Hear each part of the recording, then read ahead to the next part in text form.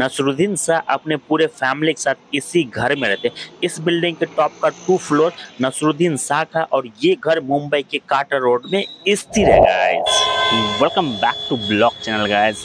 आपका स्वागत करता हूँ एक नए एंड फ्रेश ब्लॉग में।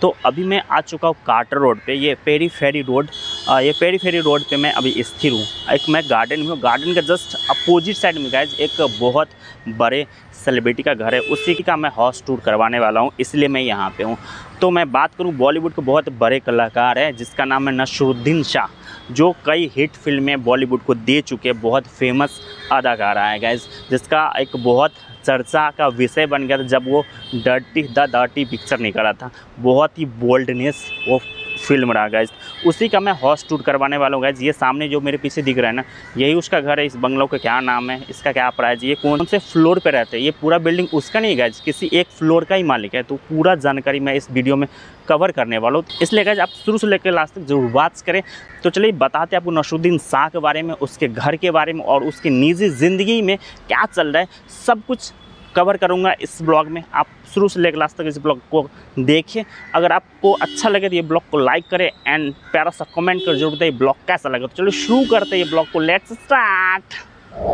तो गाइज़ मैं आ गया हूँ नशरुद्दीन शाह के घर के करीब। ये जो आप गेट देख रहे हैं ना, ये उसी बिल्डिंग का गेट है जिसमें नसरुद्दीन शाह पूरे फैमिली के साथ रहते हैं। इस घर में बिल्डिंग में दो गेट है, ये एंट्री पॉइंट मैंने देखा है, इसके जस्ट बाजू में एग्जिट गेट है और दोनों गेट पे गार्ड मौजूद रहते हैं, बिना परमिशन का आप अंदर एंटर नहीं कर सकते गज और इस घर के जस्ट अपोजिट में ही एक गार्डन पड़ता है, जो कि एक फैमिली पार्क है। ये जो आप देख रहे हैं, ये एक फैमिली पार्क है। इस घर के जस्ट मतलब गार्डन के जस्ट अपोजिट में ही ये बड़ी सी बिल्डिंग है, यानी सात मंजिल के बिल्डिंग है और ऊपर का दो फ्लोर ना, नसरुद्दीन साक है जो अपने पूरे फैमिली के साथ इसी बिल्डिंग में रहते हैं। इस घर का पहले एड्रेस मैं आप लोगों को बता दूँ ये मुंबई के काटर रोड मतलब बैंड्रा के काटर रोड में फेरी फेरी क्रॉस रोड है वहीं पे ये घर मौजूद है घर गाइज़ और आ, ये इसके जस्ट आजू बाजू में बहुत सारे खिलाड़ी और बॉलीवुड सेलिब्रिटी रहते हैं गज ये बहुत hi fi and posh area है गज और ये देख सकते कितना खूबसूरत घर है और आ, हर एक फ्लोर पे ग्रीनरी लगाया गया और ग्लास तो मस्ट है भाई। आप चाहे जितने भी सेलिब्रिटी का हाउस टूर करेंगे ना दो चीज़ नेसेसरी रहता है। एक तो उसके हर एक फ्लोर पे गार्डन मतलब ग्रीनरी लगा रहता है और हर एक फ्लोर पे ना गैज शीशा लगा ही रहता है। तो वैसा ही इस बिल्डिंग में कुछ देखने को मिल रहा है और ये पूरी बिल्डिंग लगभग लगभग पीला कलर में पेंट किया गया है गैज और ये देखने में काफ़ी ही खूबसूरत लग रहा है गैज और अगल बगल में बहुत सारे हरियाली है और इस चीज़ का गवाह दे रहा है कि ये बहुत ही शांत वातावरण में ये रहते हैं गैज और वैसे इसका निजी ज़िंदगी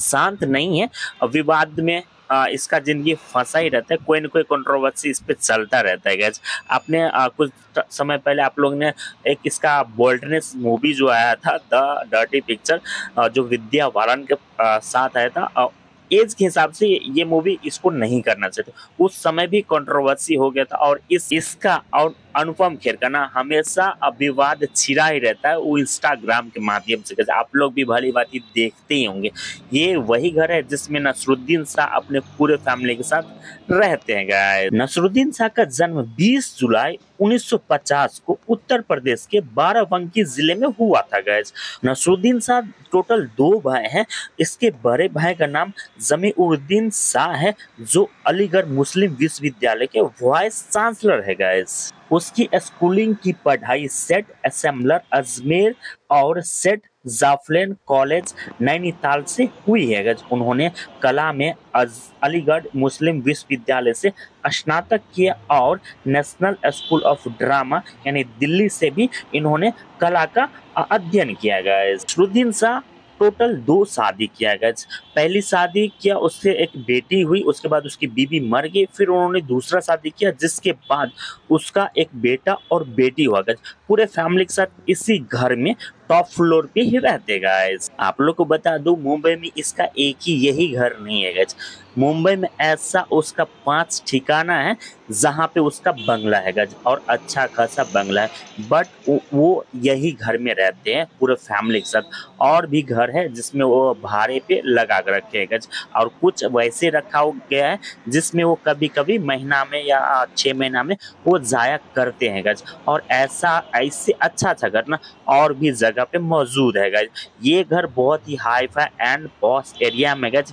इसके जस्ट पड़ोस, यानी 500 मीटर की दूरी पे है ना क्रिकेटर के महान दिग्गज खिलाड़ी, यानी सचिन तेंदुलकर भी रहते हैं आप सोच सकते कितना hi fi and posh area में इसका घर है गैज इन्होंने अपने करियर की शुरुआत निशांत फ़िल्म से किया है गैज और इसके बाद उन्होंने तमाम फ़िल्में की जो सुपर डुपर हिट भी रहा कुछ फ्लॉप भी रहा बट ज़्यादातर फ़िल्म इसका बहुत अच्छा रहा है गज और अपने अभिनय से ना इन्होंने लोहा मनवाया है गज और इंडस्ट्री में इसका एक अलग ही लेवल है गज चाहे वो किसी भी किरदार में रहना, इसका किरदार बहुत ही ज़बरदस्त है। कोई फ़िल्म अगर नहीं चल रहा है बट ये उस फ़िल्म में है ना गज तो इसके एक्टिंग से ही ना ये फ़िल्म ज़रूर चलेगा। ये दमदार किरदार के लिए जाने जाते गज बट ये अभी भी फ़िल्म में कार्यरत है। दो हज़ार तेईस में भी इसका एक मूवी में काम किया है गज सोच सकते आप कब से वो काम कर रहा है और आज के टाइम में भी वो काम कर ही रहा है ये अभी तक इंडस्ट्री को बाय बाय टाटा नहीं बोला है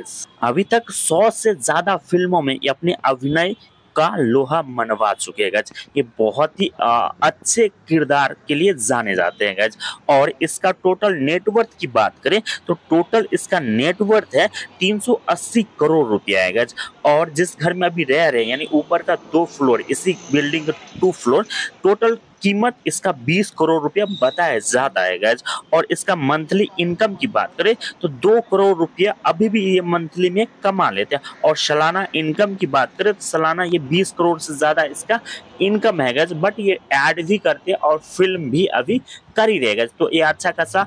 रेवेन्यू जनरेट कर ही लेते इस उम्र में भी आप सोच सकते हैं, इसका उम्र कितना हो गया और अभी टाइम में भी इसका अच्छा खासा इनकम आ ही रहा है गैज तो यही था आज का ब्लॉग। ये ब्लॉग कैसा लगा, आप लोग कमेंट करके ज़रूर बताएगा और आप लोग एक चीज़ बता दे इस तरह ऐसा ही वीडियो हमारे चैनल पे आते रहता है गैस तो आप लोग प्लीज़ इस चैनल को सब्सक्राइब कर ले, ताकि ऐसे ऐसे वीडियो आपको देखने को पहले मिल जाएगा तो चलिए फिर मिलते हैं किसी ऐसे इंटरेस्टिंग ब्लॉग के साथ। तब तक लिए जय हिंद, जय भारत।